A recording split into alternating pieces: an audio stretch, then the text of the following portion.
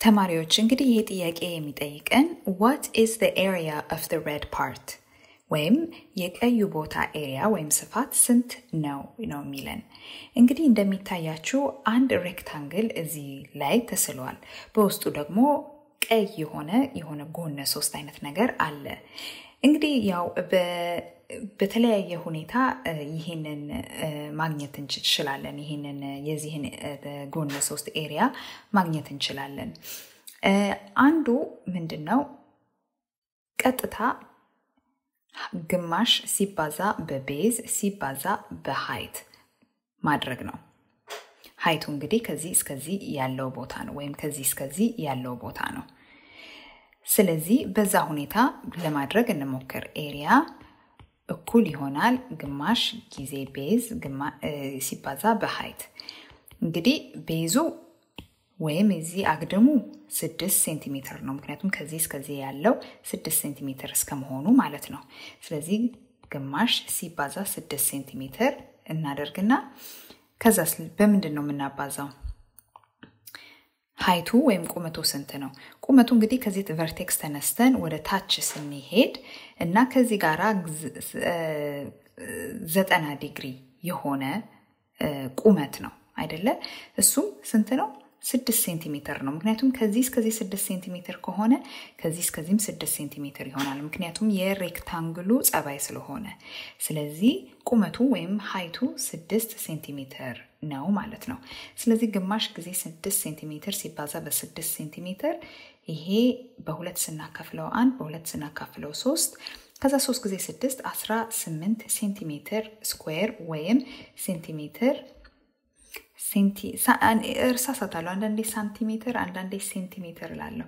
ሳንቲሜትር ልበለው። ሳንቲሜትር ካሬ ካሬ ይሆናል ማለት ነው። ሌላም በሌላ ሁኔታ ልናገኘው እንችላለን። እንዴት ነው?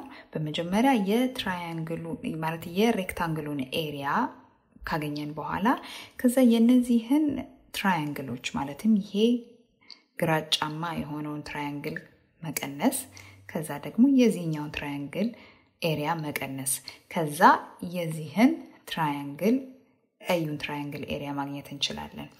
በሱ እንዴት አድርገን እንደምንሰራው እኒ እንግዲህ የ rectangle ኡ area ስንት ነው? የ rectangle ኡ rectangle ኡ rectangle area ስንት ይሆናል ማለት ነው? ያው ስድስት ሲባዛ በአስራ ሁለት አይደለ? ከዚህ እስከዚህ ያለው አስራ ሁለት ነው። ስድስት ሲደመር ስድስት ስለሆነ ማለት ነው። ስለዚህ ምንድን ነው ስድስት ሲባዛ በአስራ ሁለት እንግዲህ ሴንቲሜትር ነው። ሴንቲሜትር ወይም ሳንቲሜትር ከዛ ይሄ ሰባ ሁለት ሴንቲሜትር square ይሆናል ወይም ሳንቲሜትር ካሬ እንለዋለን ማለት ነው።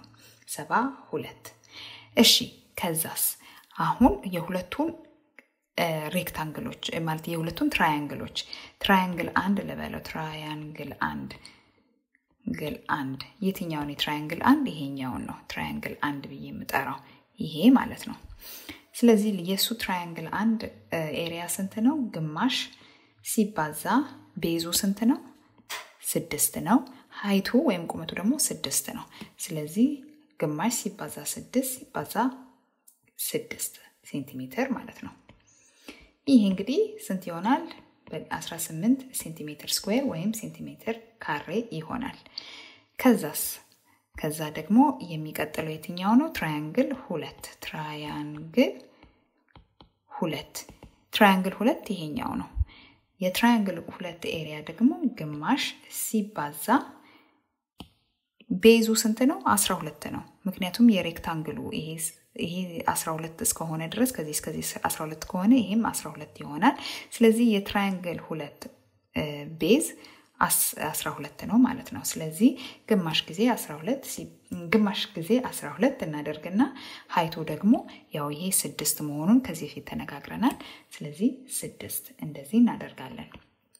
ከዛ በሁለት ስናካፍል ሶስት ይሆናል። 12 ጊዜ 3 36 ይሆናል ማለት ነው። አሁን ምንድን ነው የሚጠበቅብን?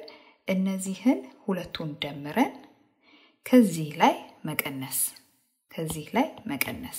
ስለዚህ ሰባ ሁለት የ rectangle ኡ ማለት ነው። ሰባ ሁለት ሲቀነስ ሰባ ሁለት ሴንቲሜትር square ማለት ነው ሲቀነስ 36 ሲደመር 18 ይሄ እንግዲህ ሴንቲሜትር square ማለት ነው። ይሄ ሁሉ ሴንቲሜትር square ወይም ሳንቲሜትር ካሬ ነው ማለት ነው። እንግዲህ 72 ሲቀነስ 36 ሲደመር 18 ስንት ነው? 36 ሲደመር 20 56 ነው። 56 ላይ ሁለት ስንቀንስ 54 ይሆናል ማለት ነው። 54 ሴንቲሜትር square እንግዲህ ከ72 ላይ 54 ስንቀንስ ስንት ይሆናል? 18 ስለዚህ 18 ሴንቲሜትር square ወይም ሳንቲሜትር ካሬ ይሆናል ማለት ነው። ቅድም እንግዲህ በቀላሉ ነበር ያገኘነው፣ ግን በረዥሙን ብንሄድ ኖሮ አንድ አይነት መልስ ነበር የሚሰጠን 18 ሴንቲሜትር square ወይም ሴንቲሜትር ካሬ ያው አገኘነው ማለት ነው። በጣም ጥሩ ተማሪዎች